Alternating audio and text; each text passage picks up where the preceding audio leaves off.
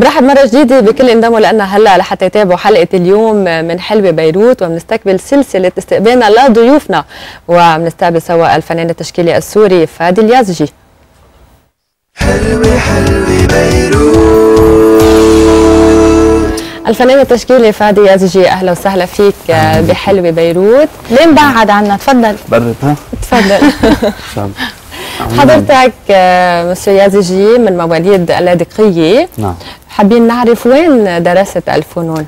آه، درست فنون بجامعة دمشق آه، كلية الفنون الجميلة تخرجت 88 ومن وقت تخرجت وأنا عم بشتغل فن بس. وكأنه بتركز أكثر على النحت أكثر من فن الرسم؟ حقيقة أنا بشتغل آه، كثير مواد مختلفة. دائما بعمل تجريب بين النحت والرسم والنحت الجداري. بشتغل سيراميك فبحب نوع كثير بالمواد تبعي. آه، هاي من أول ما بلشت شغلي وأنا عم جرب آه، اكتشف هاي العوالم الصغيرة تبع شخصياتي اللي بشتغلها. وهي بتساعدني كثير لشوف المواد بتساعد كثير بالتغيير يعني. وكأنه عندك فلسفة خاصة بأهمية المواد وكأنه كل مادة بتستعملها هي تعبير عن فكرة عن موضوع عن فلسفة معينة. هلا آه، بالشغل الأخير تبعي في شيء بيشبه هذا الحكي. بس قبل دائما عم جرب آه، اكتشف دائما في الفنان بيشتغل على كاركتر.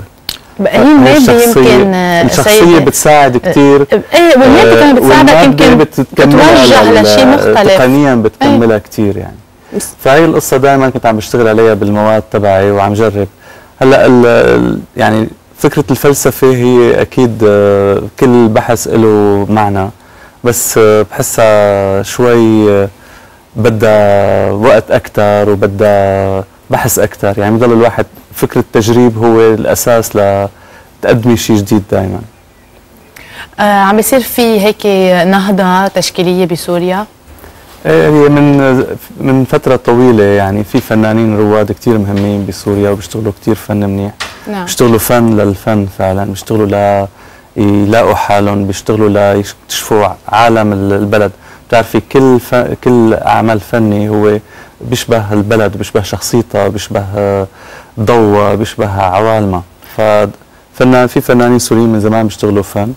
هلأ في نهضة لها فترة منيحة في ناس عم تشتغل ب أو صار ضوء أكثر عليها وصار أخذت عم تاخذ فرصها أكثر نحن رح نضل بجو الفن التشكيلي ورح نعرفك على سينتيا نهرة فنانة تشكيلية من لبنان. أهلا وسهلا. نستقبلها سوا. أهلا